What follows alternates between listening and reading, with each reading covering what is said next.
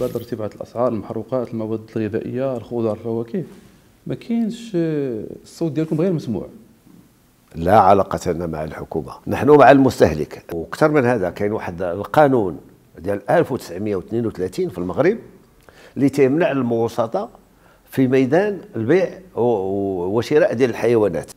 نعطيك على سبيل الذكر الرمان السنة الماضية ما فاتش درهم و20 درهم و50 الدجاج مثلا تيهز التليفون شحال دار الدجاج 40 دوز الكوري الفلاني دوز الكوري الفلاني تيخدم بالتليفون ديالو. حتى المقر ما عندوش.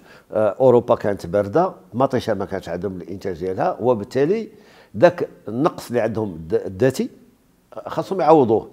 منين غادي يعوضوه خاصهم يعوضوه من الدول المنتجة بحال المغرب. واش حنا الحكومة ديالنا واش قادره تحبس التصدير؟ المخطط الأخضر كان مبني على التصدير. الأهداف ديالو حققها للتصدير. أما السيادة الداخلية السيادة الغذائية في داخل المغرب ما حققهاش.